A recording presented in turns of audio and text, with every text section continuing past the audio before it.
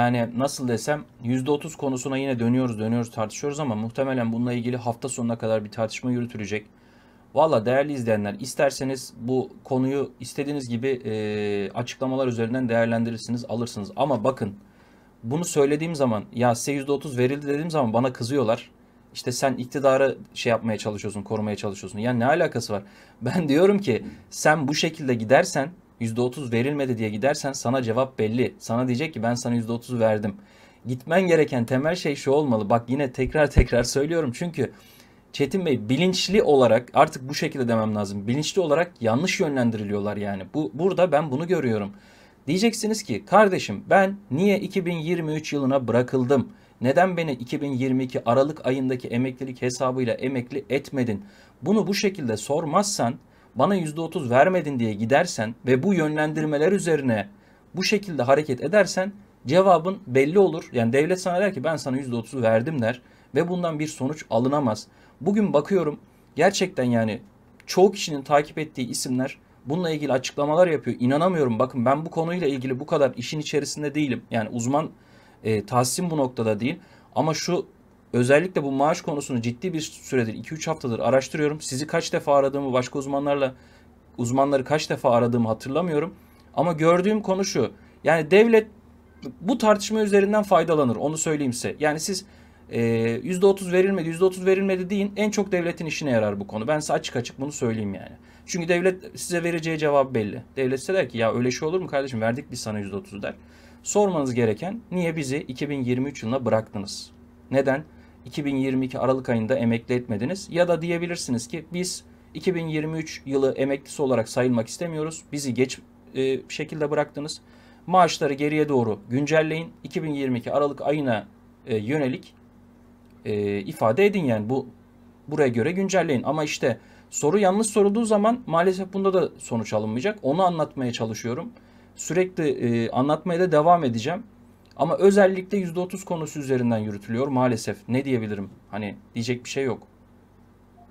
Mesela bazı izleyiciler diyor ki bilinçli zaten 2023 yılına bırakıldı. Hani bazı kişiler biliyor bu konuyu anladığı için bununla ilgili durumu inceliyor. Ama ee, ne diyeyim? Yani diyecek bir şey yok artık. Peki. Ekleyeceğiniz bir şey var mıdır bu konuyla alakalı? Yani ee, Murat Bey bu bu EYT ile ilgili tartışma bitmiyor biliyorsunuz. Biz aylarca yaş konusunu tartıştık. Bunun sonu da yok ya. Bakın aylarca yaş konusunu tartıştık. Yaş olacak mı, olacak mı, olmayacak dedik. Yaş konusu e, kesinlikle mevzu bahis de değil dedik. Bu noktalara geldik.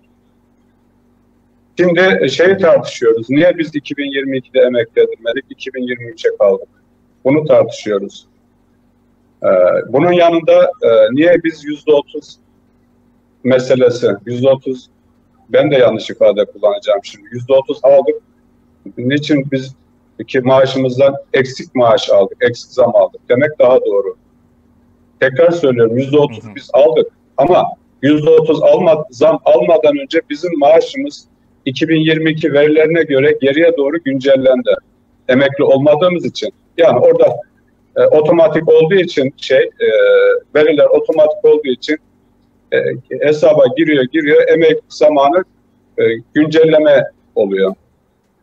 Bütün sorun buradan kaynaklanıyor. Biz yüzde otuzu aldık ama yüzde yüzde sekiz, dokuz, on, on bir gibi rakamlar kişilere göre değişiyor. Böyle bir kaybımız var.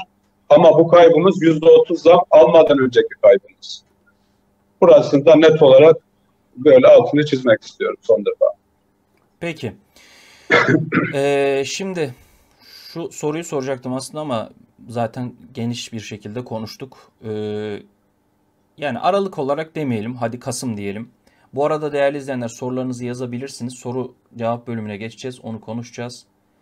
Ee, Aralık ayına yetiş Aralık demeyelim hadi Kasım ayı diyelim. Kasım ayına yetişseydi mesela şu anda diyelim ki Kasım ayında EYT'liler e, emeklilik dilekçelerini verebiliyor olsaydı e, Kasım ayına gelmeden resmi gazetede yayınlanmış olsaydı örnek veriyorum. Sonuç olarak Ocak ayı maaş robotunu baz almadan konuşalım. Aralık ve daha önceki süreçteki maaşlarını görebiliyorlardı. Hesaptan hesaplatabiliyorlardı. Evet. Oradaki maaşlarında ne gibi değişiklikler olacaktı? Kasım ayında yetişseydi mesela hani Aralık demiyorum özellikle e, ne olurdu mesela 2022 Kasım ayına EYT yetiştirilebilseydi ne gibi şu anda bir değişiklik yaşanabilirdi e, son süreçte sonra da sorular alacağım. Evet şimdi diyelim ki biz EYT'liler Kasım'da e, Kasım'da demeyelim Eylül, Ekim, Kasım, Aralık tamam. Kasım'da emekli olduk veya Kasım'da başvurduk, Aralık'ta emekli olduk Murat Bey. Hı hı. Aralık'ta aldığımız maaş neyse Ocak'ta e, Ocak ayına baktığımız e, Ocak ayındaki robota baktığımızda üzerine net olarak %30 eklenmiş olacak zaten. O zaman hiçbir sıkıntı yoktu. Yani Aralık'ta da emekli olsak, Kasım'da da emekli olsak biz o %30'u net alacaktık zaten. Çünkü 2022 emeklisi olacak biz. Bizim buradaki temel sorunumuz 2023 emeklisi olmamızdan kaynaklanıyor ve 2022'nin verilerinden %8, %13 arası e, etkilenmemiz 2022 verilerinden kaynaklanıyor. Tekrar söylüyorum. Bir kısmı %8 etkilendi, bir kısmı %9 etkilendi, %10, %11, 12. Bunlar bunların da e, farklı olmasının sebebi aylık kişilerin em, ki aylık bağlama oranları ve kişilerin çalışma hayatının e, primlerinin dönemlerinin farklı farklı olması. Yani ben 2000-2008 arası 2000 günüm var. Sizin 2000-2008 arası 3000 gününüz var. Farklı etkileniyoruz. Bu tamamen yani eğer evet. E, o konu üzerinden bir tartışma olmuş olsaydı herkesin yüzdeleri sabit olurdu yani yüzde olarak herkeste Tabii. örneğin yüzde on düşüş olurdu, yüzde on beş düşüş olurdu. Fakat bazılar bazı kişilerde yüzde on, bazı kişilerde yüzde sekiz, bazı kişilerde yüzde on. Yani bunu görüyor zaten. Özellikle dün de sorduk bu soruyu. Herkesin farklı. Herkesteki düşüş oranları farklı. Sabit bir düşüş oranı yok. Ee, bunu ifade etmek lazım. Neyse şimdi gelelim e, e şöyle bir şey de olabilir Murat Bey. Buyurun. Şöyle bir şey de olabilir. Nis, Nisan ayın Nisan ayına ek bir güncelleme gelebilir Murat Bey bu kayıplarla ilgili. Hmm. Nisan ayına. Yani şunu yapabilirler mi? Mesela biz 2023 e, yılında e, işte böyle böyle bir süreç oldu. Geç kalındı. Evet. Ama aralığa göre güncelleyip bununla ilgili bir ek ödeme tüm emeklilere mi getirilebilir yoksa sadece EYT'lilere mi? Zaten EYT'liler etkilendi. Yani tüm em, em, em, şey, evet sa- sadece EYT'liler etkilendi. Evet etki, etkilenen etkilenen kesime böyle bir güncelleme gelebilir Murat Bey. Çünkü ka- şey e, hmm. kaybedenler onlar çünkü. Yani no, normal emekliler zaten e, alacakları zamı net olarak aldılar zaten. Onlar da onlardan yana bir sıkıntı yok. Genel de olabilir, sadece EYT'liler de olabilir ama hmm. e, bir ek e, şey mevzusu kulağımıza geldi bir ek mevzusu Nisan ayında. Yani bu önemli çünkü e, üzerinde de durmak lazım. Bu kayıplarla ilgili eğer Nisan ayında bir ek olursa zaten ortadan problem e, kalkar gibi görünüyor. Şu anda da böyle bir tartışma yürütülürken ister istemez e, bu kadar tepki varken belki de düzeltilecek yani belirsiz şu an için. Hani Aralık ayına göre güncellenecek ve e, Aralık'ta gördükleri rakamların üzerine %30 eklenmiş bir şekilde maaşlarını alacaklar. Eğer dediğiniz gibi e, Nisan ayında bir güncelleme olursa. Yani Şimdi, taban ta, taban aylık hariç bir üstler için bahsediyorum. Taban aylıkları hmm. zaten azalmanı aldı. Taban aylıklara dok, dokunulmaz ama bir üstlerine bir ek ilave gel, gelebilir.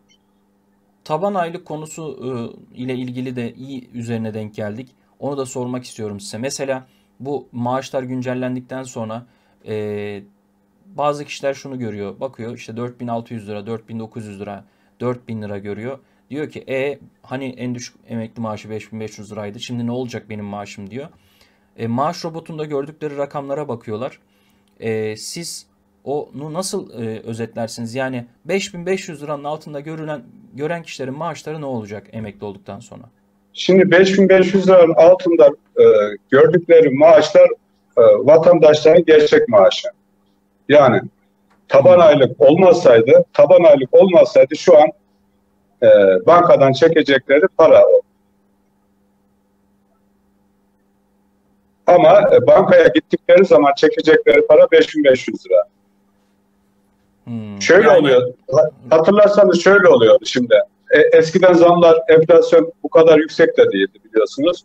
Yüzde sekiz falan zam alıyorduk biz. Altı ayda veriyorduk emeklere. Yüzde sekiz, yüzde yedi, yüzde altı hatırlıyorum ben. Hı hı. E şöyle bir şey oluyordu. E, bu gördükleri maaşa diyelim ki şu anda 4600 lira görüyor ekranda ama 5500 lira alıyor. Şimdi e, Temmuz'da diyelim ki e, yüzde 20 zam verdik. Değil mi? Yüzde 20 zam verdik. 4000 4600 lira alanlar e, 5500 lira aldığı için o yüzde 20 zaman e, tekrar altında kaldığı için onlara zam verilmiyordu zaten. Yani hmm. normal aylığa, normal aylığı, taban aylığın üstüne gelene kadar zam almıyorlardı ama Vallahi, son dönemlerde zamlar yüksek çıktığı için o şey de kaldı. Yan, yanlış anlaşılmasın ama Çetin Bey taban aylığın altında kalanlar çok şanslı. Yani bunu hep onu, ama yani zaten bir zaten şekilde, onu söylüyorum. Daha önce çok konuştuk. Bir şekilde emekli olmuş e, şey önemli değil. Ne kadar prim ne kadardan primin yatırıldığının bir önemi yok. 5000 prim günü olsun. E, 25 yılını doldursun. 20 yıl kadınlarda doldursun. Çok en dipten de yatırılmış olabilir. E, istiyorsa 3000 lira maaşı çıkıyor olsun. Fark etmeyecek. 5500 liraya tamamlanacak her türlü. Şimdi taban aylık alanlar enflasyonun yüksek olduğu dönemlerde karlı. Bu seneki gibi. Yani 2022'deki gibi. Ee, enflasyon yüksek olması taban aylık alanların işine yarıyor. Ee, taban aylığın bir tık üzerinde maaş alanları mağdur ediyor Murat. Taban aylığın bir üst e, maaş alanları taban aylığın içine alıyor. Çünkü taban aylık e, neredeyse iki katı yükseliyor bir buçuk kat yükseliyor. Ama aynı zam oranını biz bir tık üstü alanlara katı, veremediğimiz için. Katı yükseldi Çetin Bey ya. Yüzde otuza oranla yüzde 57 idi sanırım. Yanlış bir şey de söylemeyeyim ama. Ya, yani neredeyse yani... evet. Üç buçuktan beş buçuğa çıktı. Bakın 2000 lira zam aldılar. 2000 lira zam aldılar. Şu anda e, maaş robotuna baktıkları zaman 2000 lira zam alan kişi sayısı çok azdır. Yani ortalama ortalama artış 1200, 1300, 1400 ve daha da düşüğü vardır belki. E, yani 2000 lira çok e, normal yüksek maaş alanlarda belki fark eder ama bizim ortalamamız belli zaten. Yani 6-7 binlerde ortalama, 8 binlerde. Onlar zaten e, şu taban aylık meselesinden dolayı muzdarip olan kesim. O yüzden de diyorum enflasyon yüksek olduğu dönemlerde ta, taban aylık alanlar çok karlı. Taban aylığın biraz üstü alanlar çok sıkıntı. Yani e, diyelim ki e, şu anki emekli maaş robotunuzda şöyle söylemek lazım. Yüzde e, 3500 lira görünüyor. En dipini söyleyelim. Hı hı. 3500 lira maaş robotunda görüyorsunuz. Şunu soruyorsunuz. Diyorsunuz ki e en düşük emekli maaşı 5500 lira olmuştu diyorsunuz sizin o 3500 liranız hop direkt 5500 lira oluyor. Evet. Yani size yüzde 157'lik bir zam yapılmış oluyor. Siz de emeklisiniz. E, tabii böyle bir şeyin olmasa hani bu enflasyon ortamında, bu ekonomi ortamında tabii ki bütün emeklilere can suyu, emeklilere yapılması gerekiyor. Sonuçta bu emekliler yani bu maaşları alıp öyle de bir şey yapılıyor ya havaiye tatile gitmiyorlar yani. Ailelerini harcıyorlar, hayatlarını harcıyorlar, geçimlerini sağlamaya çalışıyorlar Kesinlikle. şu şartlarda. Yani böyle de emekli karşıtlığı başladı son dönemde. Bakın ben de genç birisiyim ama yani etrafımda insanlar var yani biraz görün yani bu insanların yaşadıklarını görün. Emekliler yani bununla alakalı uzun uzadıya şey yapmıyor. Neyse şu konuyu demeye çalışıyorum. Bir taraftan %57 veriliyor bir taraftan %30 veriliyor. Yani neye evet. göre yani kime göre bu oran? Evet, özellikle özellikle bu seneki zaten e, toplum insanlar arasındaki e, bu e, öfkenin, huzursuzluğun sebebi bu. Birinci sebebi asgari ücrete aşırı derecede zam yapıp e, emekli ve emekli olacaklara e, neredeyse bunun yarısı zam verilmesi yani. Birinci sebebi bu aslında bu yüzde otuzluk meseleyi de e, an, ben anladıklarını zannediyorum ama asıl e, buradaki öfkenin sebebi hem EYT'nin gecikmesi hem de e, emeklilere verilen zamların asgari ücrete göre verilen zamlardan çok çok çok düşük tutulması. E, bilinçaltından bu öfke işte her yere yansıyor. Hocam tepki tepki gösterilsin, ö- öfke gösterilsin ama yanlış yere Evet. gösterirlerse haklarını alamazlar. Ben bunu açıklamaya çalışıyorum. Evet. Birilerinin e, birilerinin e, kendi istekleri doğrultusunda bir e, ne diyelim gündem oluşturması konusunda peşine takılırlar, yanlış yönlendirilirlerse bu sefer haklarını da alamazlar. Buna dikkat edin. Yani buna dikkat edin. Konu bu bu şekilde. Lütfen tekrar tekrar sararak izleyin yani. Onu ifade edelim. Çünkü devletin vereceği cevap belli yani bu konuda. Ama mesela gerçekten e, hatırlıyor musunuz o emekli maaşlarına yapılan zamlar